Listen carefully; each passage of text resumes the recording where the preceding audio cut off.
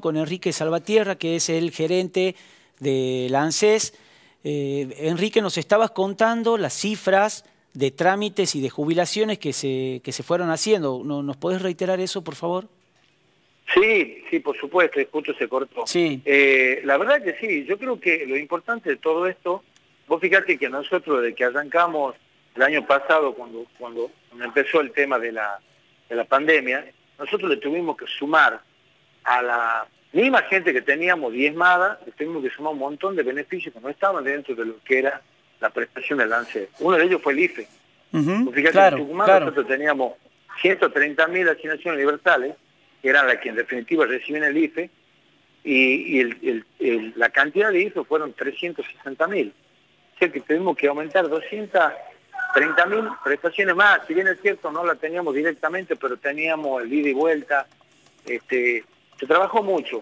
Mm. Eh, este año que está terminando nosotros hemos podido incorporar dos beneficios muy importantes para el tema previsional, como es el reconocimiento por de cuidado. Nosotros llevamos cuidado entre 3.000 y 3.500 mamás ¿eh? que no tenían la posibilidad de cuidarse antes porque no estaban dentro de la moratoria.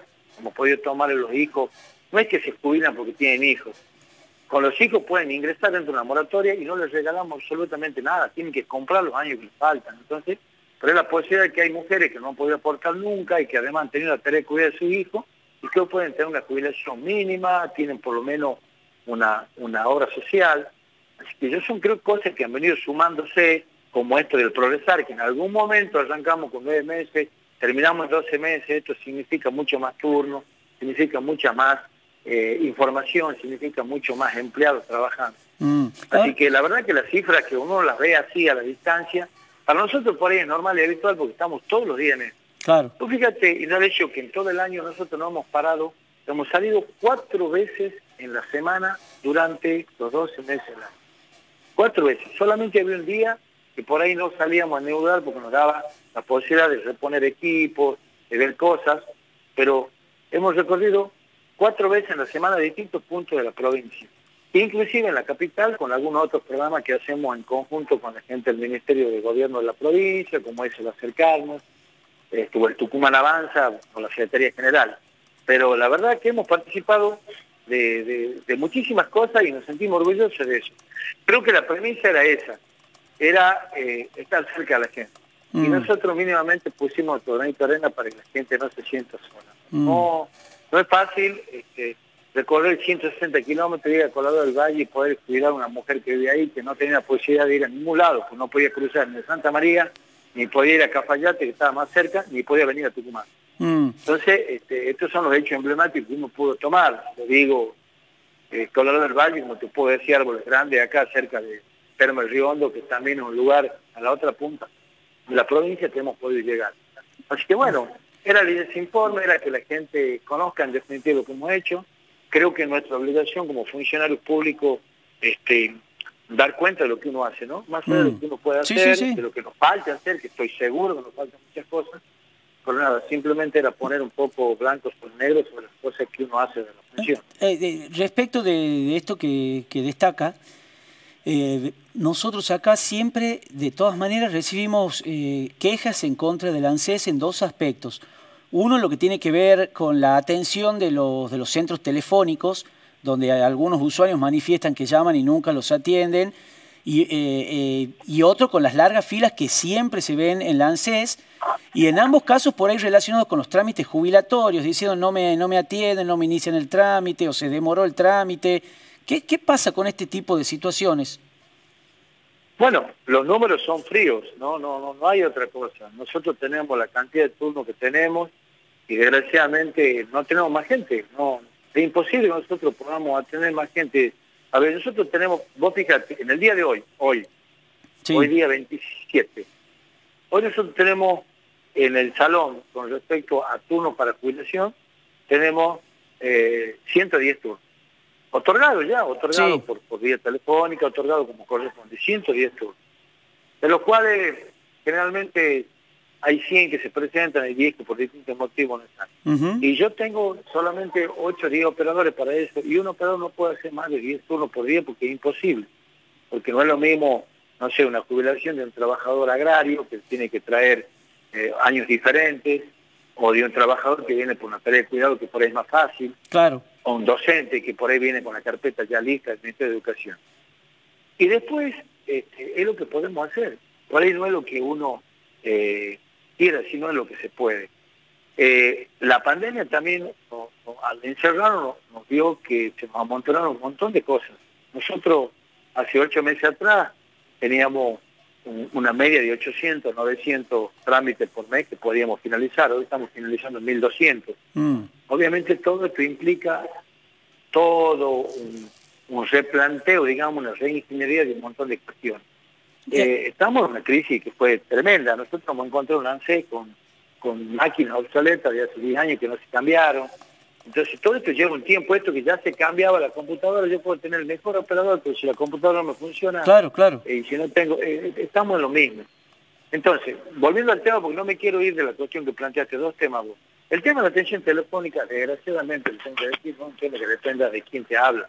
La UDAT es una unidad de atención telefónica que solamente tiene acá en Tucumán seis o siete operadores y muchos de esos operadores son tercerizados por un call center. O sea que muy poco que obviamente son convenios que tiene el y que responden por ANSE. Claro. Pero no es un operador que yo pueda saber si atiende o no atiende, la verdad, escápame. Y no es que me estoy sacando el lazo, ¿no? Simplemente diciendo cuál es la realidad. Mm. Y yo creo que son cuestiones que tienen que mejorar. Mm. Eh, y con respecto a la escuela, te lo digo yo, sí. mucha gente puede salir a veces y me va a encontrar a mí abajo. Yo soy uno poco, y no porque sea yo, tengo esa empatía con la gente, yo salí a atender a veces abajo. Y a veces la gente viene por otras cuestiones. Eh, el que tiene turno viene a entrar. Y a veces yo encuentro, yo llego a 7 menos cuarto de la mañana. Y hay gente que tiene turno a las 9 y está ahí y le digo, pero si tiene turno a las 9. No, bueno, pero yo quiero venir temprano. Es que le digo, no, vaya usted no. Bueno, qué sé. Pero y, pasa también que, y pasa también, pregunto, ¿no? Esto es pregunta. Pasa que va mucha gente aunque no tenga turno para ver si puede conseguir uno, si puede tramitarlo. Pasa como en ah. Bien. Pasa, pasa como en todos lados. Che, yo voy, bueno, ya estoy ahí. Y nosotros ponemos dos tres personas que salgan, que lo vean, veamos a algunos que le ponen. Pero no te olvides que el otro nuestro tiene un software de turno. Él tiene el software de turno y tiene el integral, el que hace, por ejemplo, préstamo. Sí. Y está haciendo tres. Y por ahí yo le puedo tener la mejor intención de entenderlo, pero por ahí lo otro me dice, no, yo tengo completo, no puedo tener más. Entonces, uno intenta ese tipo de cosas, pero siempre va a pasar eso. Más allá de que pongamos todo lo que tengamos que poner, seguramente a nosotros nos deben faltar algunas cosas, pero también es cierto que uno intenta de una u otra manera que la gente se vaya con alguna respuesta. Mm. A nosotros nos pasó mucho con las tareas de cuidado. Llegaba la mamá a averiguar y nosotros le conseguimos el turno inmediatamente. No, no, no se vaya, venga, en. Bueno, a veces nos damos basto. Claro, claro. A veces no se puede. Hoy tenemos... Y otra de las cosas que tenemos que mejorar es la atención de, todo lo que sean los trámites online, claro. todo lo que es trámite por la web. Sí, sí, sí, sí, eh, Nosotros tenemos mucha gente en su momento trabajando en la casa, hoy ya no la tenemos, la tenemos acá, entonces estamos dividiendo. Nosotros armamos la primera oficina a la atención virtual que tiene el noroeste argentino, la tiene el Uruguay Tucumán. La única oficina que atiende Solamente 10 operadores lo tenemos instalado en la calle Córdoba para todo lo que sea la atención virtual. Obviamente tenemos que ir, yo quiero hacer, qué sé yo, un fondo de desempleo y bueno, necesito a eso darle mucha importancia porque está sin trabajo, necesita cobrar el fondo de desempleo.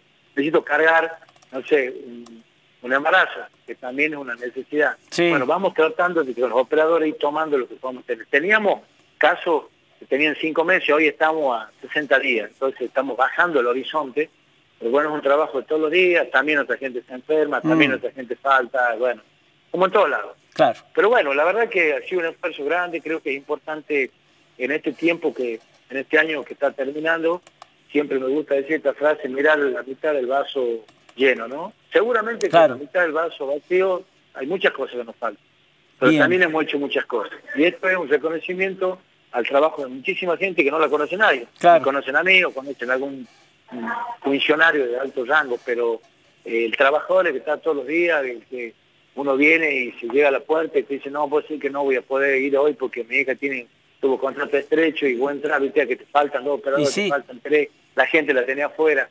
Eh, la verdad que es un esfuerzo de todos los días, pero bueno, eh, uno lo hace este, convencido de que es lo mejor que podemos hacer.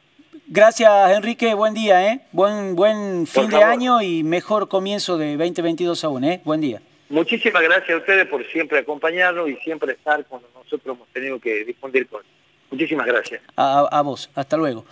Bueno, eh, nos vamos directamente a la